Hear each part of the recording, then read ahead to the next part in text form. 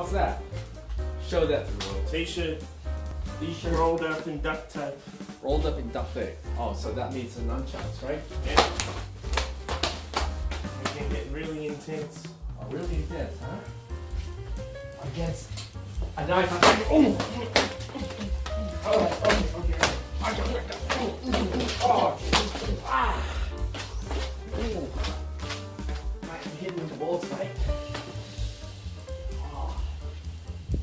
Very quick, like a whip. So it's a whipping thing, alright? See this duct tape? That makes it really painful. Right? So that means if I hit you with that duct tape, hit me with the duct tape, please. Ouch! Ouch! Hey! Hey! What hurts? Ah, that hurts, that stings. Please. Ooh.